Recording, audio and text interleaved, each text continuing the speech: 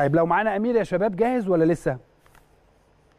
طيب عندنا مفاجأة برضو من المفاجآت اللي بتبقى معانا كل يوم الحقيقة. آه، زميلنا أمير هشام وموفد قناة النادي الأهلي عمل لقاء هام جدا مع أحد النجوم القادمة للنادي الأهلي النجم الكبير طاهر محمد طاهر. طاهر محمد طاهر قال على النادي الأهلي إيه وكيفية الاستعدادات وكل هذه الأمور. هنطلع نشوف طاهر محمد طاهر قال إيه لزميلنا أمير هشام ونرجع نكمل مع حضراتكم بقية هذه الحلقة. يا طاهر برحب بيك في البداية على شاشة قناة الأهلي. حبيبي أهلا بيك وتحية لكل جماهير النادي الأهلي في جميع أنحاء العالم.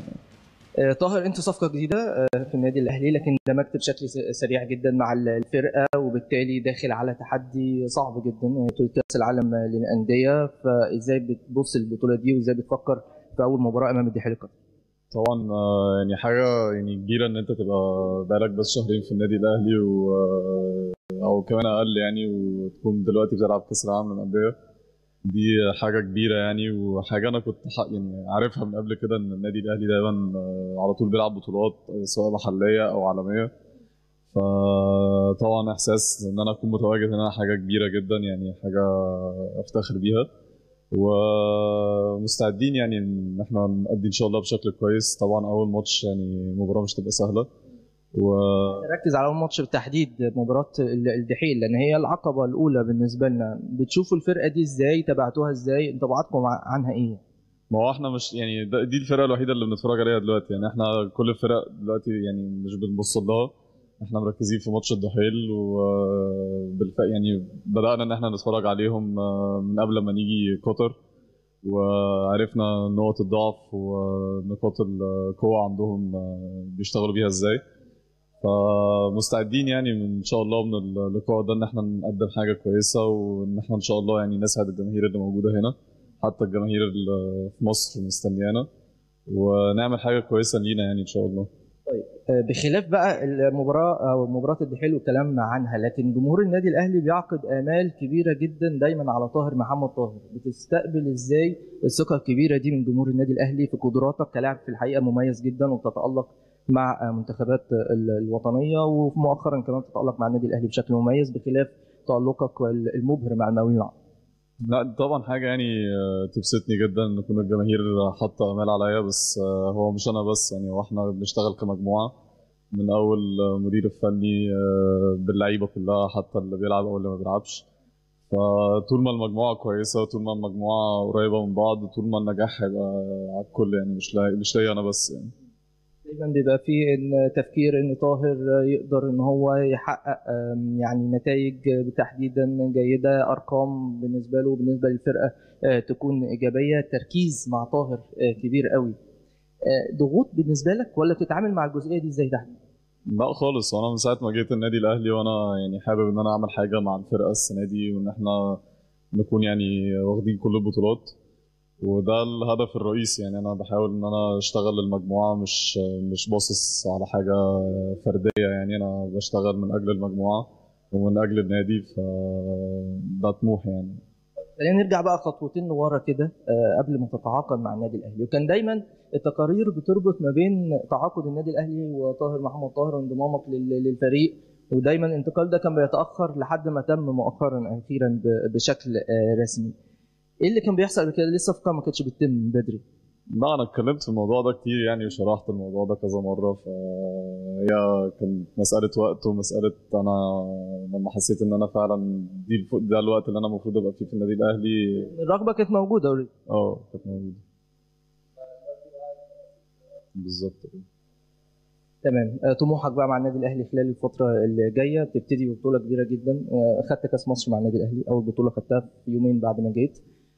داخل على بطوله بقى مهمه قوي بطوله كأس العالم. بتفكر إزاي في البطولة وحجم التحدي اللي أنت مقبل عليه هو زي ما أنت قلت يعني أنا أول آه، يومين ليا كان كأس مصر والحمد لله إن إحنا قدرنا ناخده ودي كانت أول بطولة ليا مع النادي الأهلي ودي كانت أول بطولة محلية. دلوقتي إحنا في بطولة عالمية ومش أي بطولة يعني مش يعني ده يعني حلم أي لعيب كورة إنه يكون بيشارك في بطولة زي دي. فالحمد لله إن الحلم ده اتحقق وإن شاء الله يعني هقدر يعني هبذل أقصى جهدي إن أنا إن شاء الله أعمل حاجة كويسة.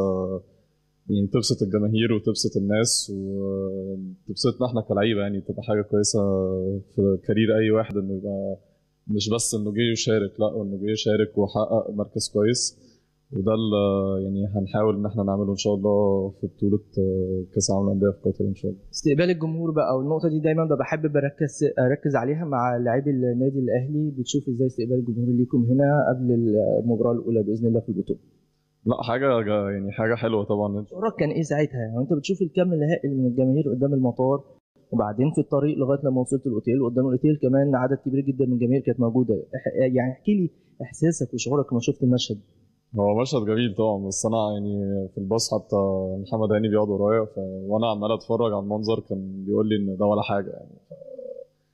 لما قال لي كده حسيت إن الموضوع لأ ده فيه أكتر من كده يعني أنا بالنسبة لي ده كان ممكن يكون أول مرة أشوف المنظر ده بالنسبة لي بس لما قال لي كده حسيت إن لأ ده في المنظر ده ممكن يبقى ضعف كده يعني أكتر بكتير جدا فلا طبعا حاجة جميلة إن أنت أي حتة بتسافرها أي بلد بتروحها بيبقى فيه دايما جماهير مستنياك وجماهير مش قليلة جماهير كتيرة.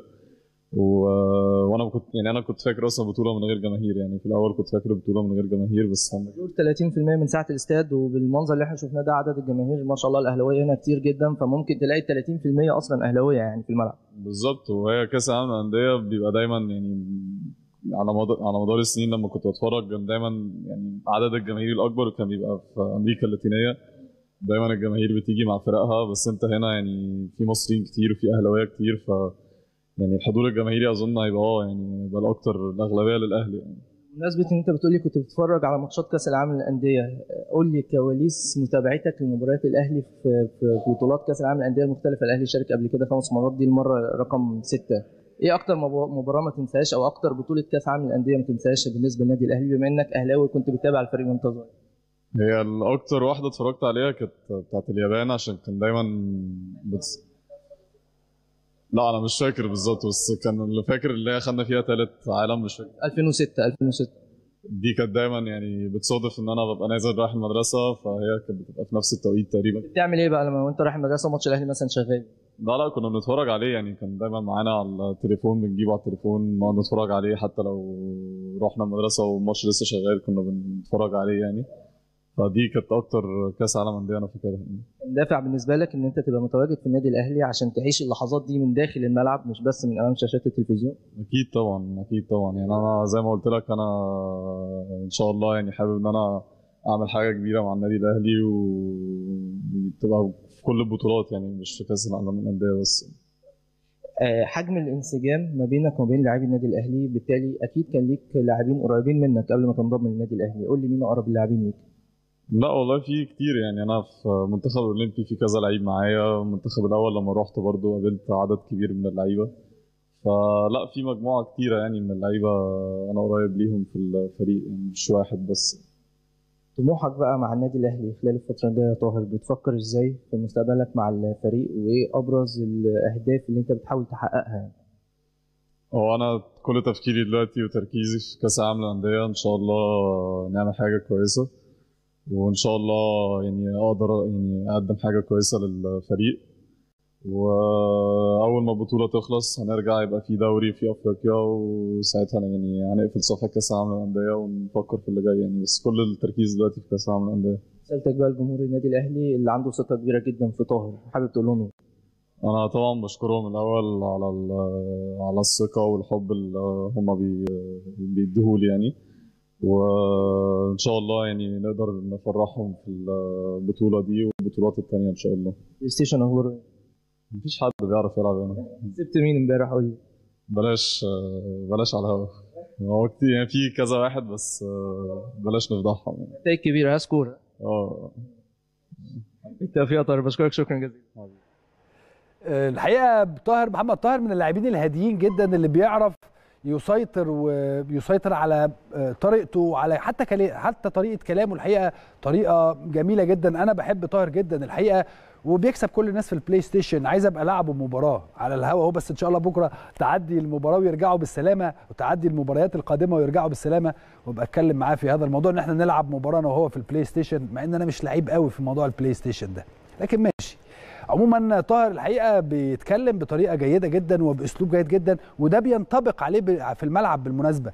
آه، اللعيب اللي بتلاقيه هادي بره بتلاقيه في الملعب ممكن يكون هادي أو شكله بيبقى هادي ولكن fighter بيدافع بشكل جيد وبيهاجم بشكل جيد. طاهر محمد طاهر من نوعية اللعيبة دي من نوعية اللعيبة الهادية أو الشكل العام بتاعه بيبان إن هو هادي ولكن بيموت نفسه بي بي بي بيدافع في كل مباراة. شفته في مباراة بيراميدز إيه اللي حصل فيها وشفته في المباريات اللي قبلها واللي قبلها اللي لعب فيها طاهر محمد طاهر كان بيؤدي بشكل رائع جدا الحقيقة هو وكل لعيبة النادي الأهلي.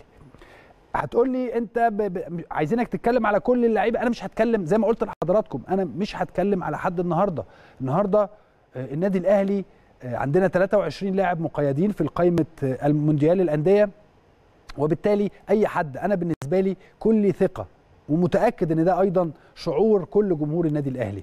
أنا بالنسبة لي متأكد وعارف إن أي حد من ال 23 هيلعب هيبقى كويس هيموت نفسه.